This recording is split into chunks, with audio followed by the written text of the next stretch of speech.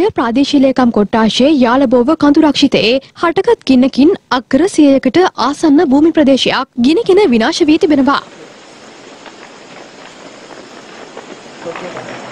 ඊයේ පස්වරුවේ හටගත් ගින්න රාත්‍රිය වනතුරුම රක්ෂිතය පුරා වේගෙන් පැතිර ගිය බවයි අප වාර්තාකරු සඳහන් කළේ. ගින්න සම්බන්ධයෙන් මොනරාගල දිස්ත්‍රික් ආපදා කළමනාකරන ඒකකය විසින් සිදු කළ දැනුම් දීමක් මත පැමිණි කුඹුක්කන් එකසිය විසි එක් වන බලසේනා මූලස්ථානයේ යුද හමුදා සෙබලුන් දැඩි පරිශ්‍රමයක් යොදවා ගින්න පාලනය කිරීමට කටයුතු කර තිබෙනවා.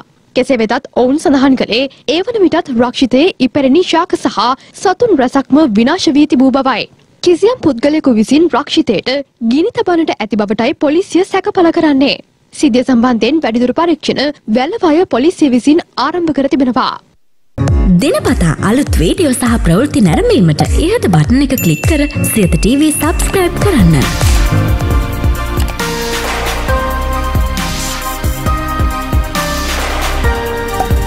අලුත් වීඩියෝ ගැන මුලින්ම දැනගන්න මෙම සීනුව ක්ලික් කරන්න.